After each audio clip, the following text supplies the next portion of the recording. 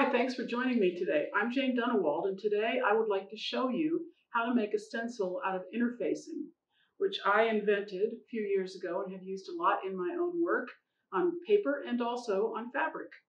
Um, what we're going to be doing, a few examples. Maybe you can't see those against my shirt, but you'll see them as we go along. It's uh, pretty straightforward. I'm using Craft Fuse, which is a fusible that has a very smooth overall heat uh, affected fusible on one side.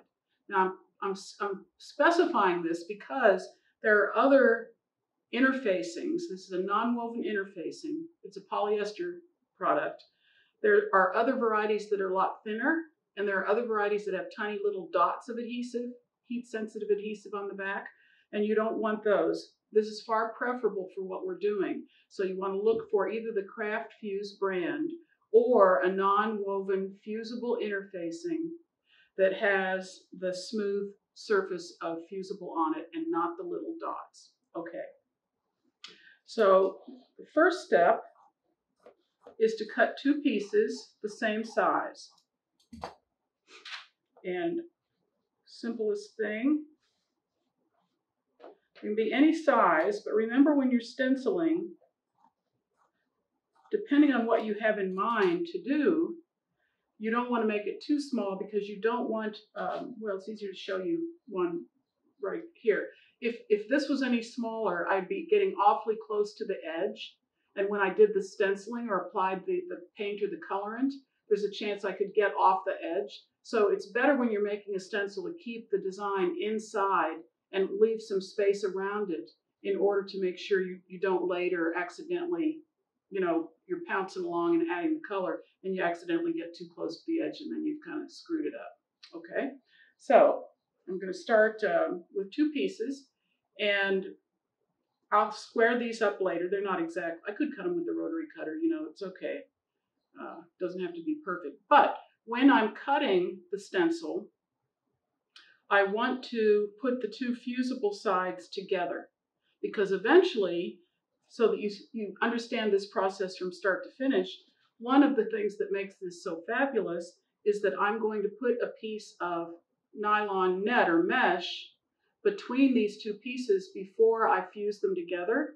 And that will create this surface that I can then mount freestanding shapes onto which is a real advantage with stenciling because it eliminates the need to create a lot of little bridges that hold all the parts together.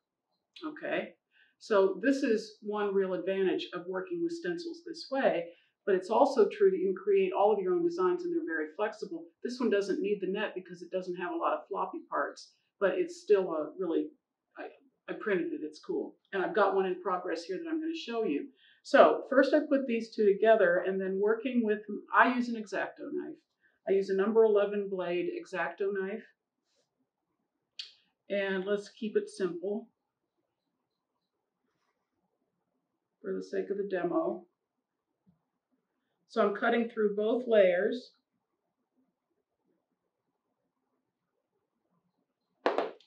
And when I cut through both layers, There's my basic shape. Now, this stuff is nuts. Um, I think tulle, T-U-L-L-E is another name for this.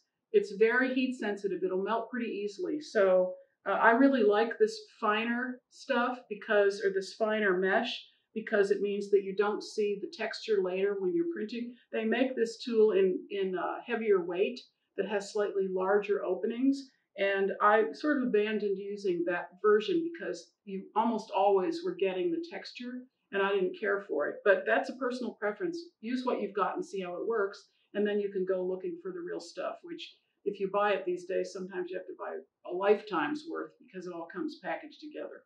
If you can find it by the yard, that would be great. Okay, so I have a piece right here. And I'm going to cut this a little bigger by that I mean longer than the interfacing because then I can use this to hang it up to dry later when I put on the paint. Okay, so now I'm going to put the tulle between these two layers, or these two pieces, so it's layered in there. I'm going to line up. Most important thing is not the edges. The most important thing is that these two pieces are aligned. And that's very important that this net be um, nice and flat in there.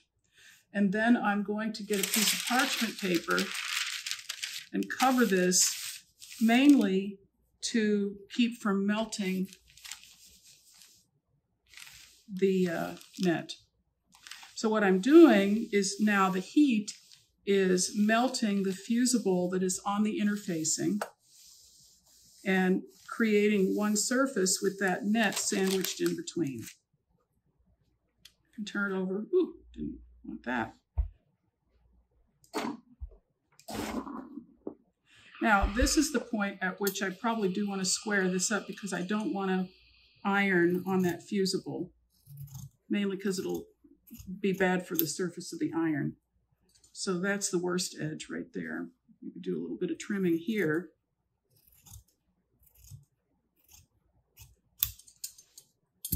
Okay, now I can really give it some steam so that I know all the edges are secure. And I'm tempting fate by putting the iron against that net. Okay, now, here's a very cool thing. Off camera, I cut this little piece that's freestanding, and now I can put it in here. And when I do a design element like that, I don't need to put it on both sides and make it match up. And you'll see why when I add the paint to this.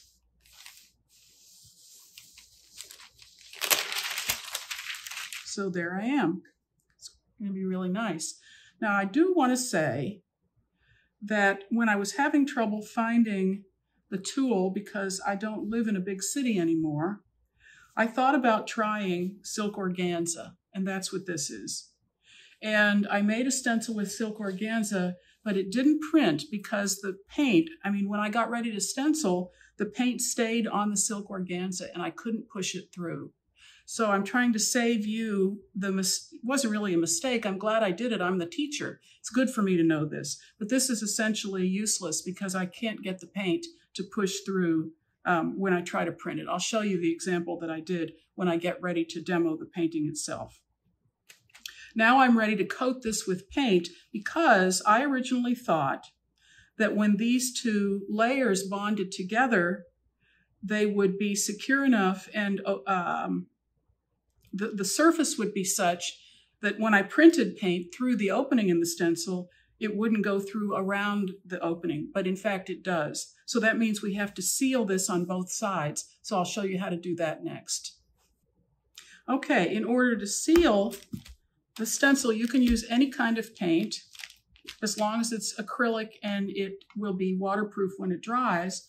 But I like to use old house paint that we used. This is my front door. And um, I like to use up paint that I already have because I wouldn't want to use an expensive specialty paint like a, an expensive tube acrylic or textile paint. So I'm just going to brush paint onto the interfacing. And most of the time you're going to have to coat it on both sides. So this is a nice thick paint works pretty well. The paint can be any color. You could use gel medium if you had it, but that would be an expensive choice, I think. More expensive than just using up what you have. And you don't have to be too concerned about getting onto the net because I'll show you a little trick with that in a minute here.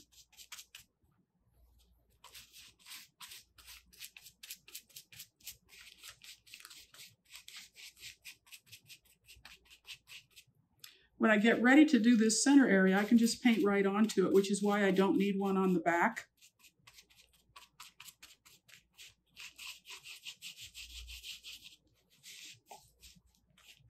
And I suppose it would not be a bad idea to put on some gloves. I didn't think about that. and they're clear across the studio. This paint is non-toxic, it won't hurt me, but I also don't have really nice fingernails that I need to protect either, and you might. Okay, so to flip it over and paint that little shape in and finish filling this in. Uh, you would not want to use spray paint for this in case you're wondering about using up a can of spray paint that you have. I don't think that would do a very effective job. It really needs to be a paint that will sink into the interfacing in order to seal it completely.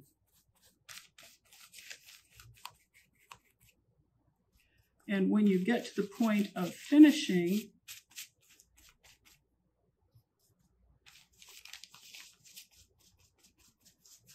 you can use the brush and just brush over the net like this. And that will make most of the paint stay on the paper underneath, the surface underneath.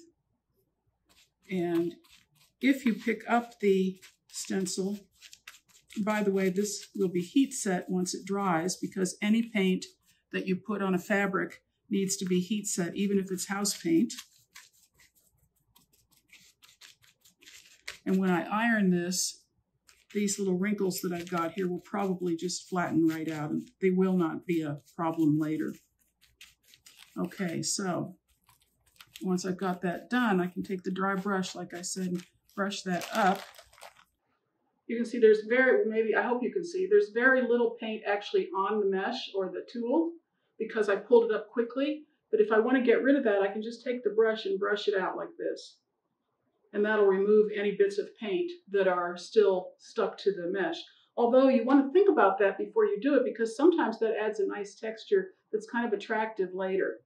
So I left this little bit at the top so that I could hang this up to dry. So I'm going to hang this up on my clothesline here, or you can hang it on a hanger with a couple of clothespins. If you don't have a clothesline, that's another good way to do it. There are a lot of ways you can adapt it, but you don't want to leave it drying flat down on something because it'll stick to wherever you leave it. So I'm going to go off camera and hang this up and then I'll show you how to print the stencils. Okay, now let's print. It's fun making them, but then it's more fun printing them. I want to show you a couple of things. I want to remind you about the organza because I'm going to show you right now why this didn't work, okay? Um, then I'm going to actually show you how the others print that do work. And then I'm going to get bold and try and experiment printing this one, even though it doesn't have paint on it, so we see whether what used to happen, which is that the paint will actually go through the interfacing, we'll see whether or not that's true because this is a new interfacing that's a little bit heavier than what I used to use. So I'm dying to try it out, and why not try it in front of everybody, and we'll see whether it works or not, and then we'll know. Okay, so the first sample I want to show you is what I did with the stencil that had the organza on it. Okay, so essentially, the best practice for printing stencils, kind of a general way, is to use a stencil brush that looks like this. It's flat on the bottom, and the motion is like this. Sometimes you can use a roller, a paint roller, and occasionally you can get away with using a squeegee, but in general, I don't really care for the squeegee and I'm a little bit skeptical of the roller because it's easy to push paint underneath this edge and then you know you don't have a really perfect image anymore. And you would not attach these to the back of a silk screen and try to print them that way. That's not effective either because you're trying to push the paint through too many layers. You know, this interfacing is a little bit on the thick side to begin with. And by the time you, you uh, temporarily adhere that to the back of a silk screen, a classic silk screen, a blank, um, you're just having to push the paint through too many layers. So abandon the idea of the organza and that'll go in the trash.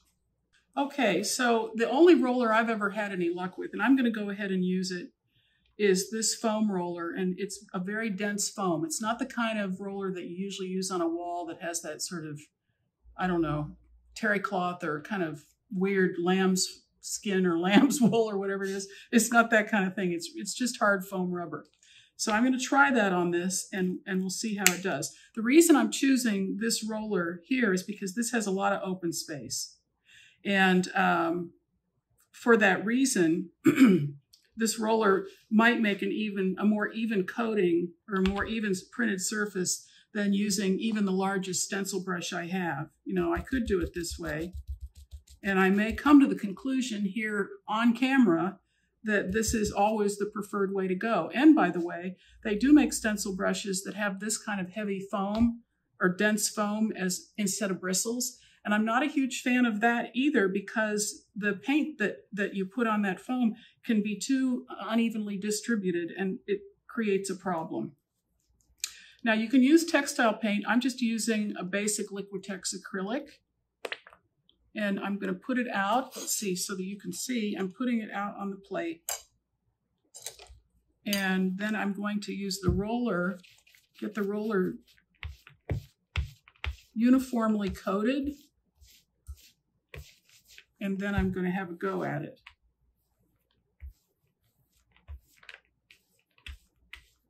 Now, one of the beautiful things about stenciling is it gives you a lot of control over how you apply the paint, whether you want it to be thick or thin, or whether you want to mix colors. I mean, I'm already seeing this great opportunity here to get out my gold metallic paint and put some over here so that I have two colors happening at once.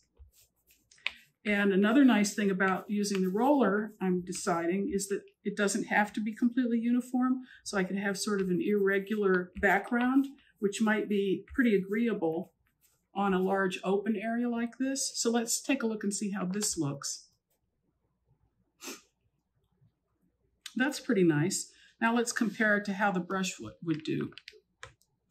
With the brush, when I get the paint on the palette, and I'm just using a plastic plate, I want to get the paint evenly distributed on the end of the brush, and then I'm applying the paint like this. And you can see that's going to take a long time compared to the roller if what I want to do is fill in the whole thing with paint. But it also gives me the opportunity to do this kind of cool um, textural thing. So I'm going to sort of head for that with this piece. It looks kind of mottled. And if I had another color of paint, then I could add additional color and blend it, and that, that could be pretty cool. When I finish using these stencils, I just rinse them off with cool water. You could let the paint build up. I know plenty of people do that with their stencils. I guess that wouldn't really hurt anything. But you want to make sure that if you want to keep the mesh clean, you do it while the paint is wet. That's kind of an interesting texture. Okay. Now let's move over and do this little vine. And I think I'm going to switch to a, well, I'll start with this bigger brush, see how it goes.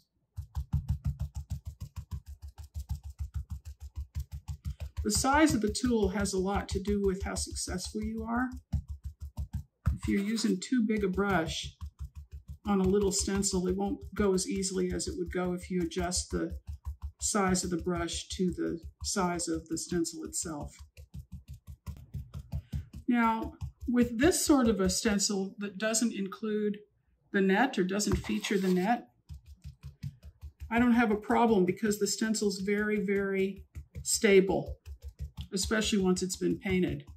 But if I'm using, back to the stencil that I used here, if I'm using this kind of stencil, I want to make sure, I said it earlier, but I want to emphasize that the net needs, needs to be as uh, taut between the two layers as possible. And it is a nylon or a polyester product. I, I, guess it probably varies. So it won't really stretch over time, but it does need, this will go more easily for you if it's pretty taut at the beginning. Okay, great. That looks great. Now we're going to try this one.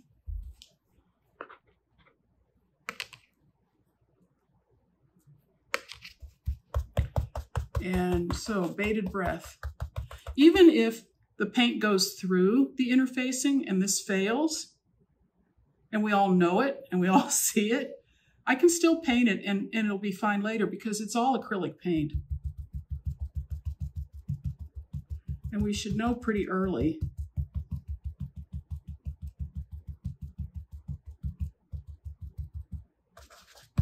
And don't forget to keep redistributing the paint on the brush every time you add more from the palette so that you don't get a big gloppy bunch of it down on the stencil that you can't get rid of. Okay, I don't think I need, I'm, I'm dying to see what's happening and I don't think I need to do the whole thing in order to know. So let me finish this little row right here. Might have been able to go with a smaller brush here too, to tell you the truth. But you see, one of the beauties of stenciling, I think I may have already mentioned this, is that you have control over the amount of paint that you add, so you can decide how mottled or completely filled in the shapes are going to be. Oh, how about that? Hot dog. Okay. So if you've got a fairly thick paint, you can, looks like you can skip the stage of painting out the interfacing because if I don't wash this out and I just keep adding paint and I let it dry, it will eventually kind of seal it without having to go through the painted step. I would say as a caution though, that if you're making one like this and you've got one piece uh, of interfacing here, remember these were not doubled up, I would go ahead and, and, and use the, the, the, precautionary step of painting the entire thing because otherwise you'll have exposed uh, adhesive on this side and it would be better to cover that up with paint instead of uh, not covering it with paint and possibly running into some trouble with it later because it's only one layer. If it's only one layer, the paint might go through it when you're printing in a way that it doesn't when it's doubled up like this. So I hope this has encouraged you to dig out your interfacing. And if you don't have any, get a little bit. It's a very inexpensive product. So this is a really inexpensive way to make a stencil, whether you make a stencil that employs the tulle or the net or whether you don't. Either way, great way to make a stencil. And they're long lasting. You can rinse them off with water. You can use them with all kinds of products safely.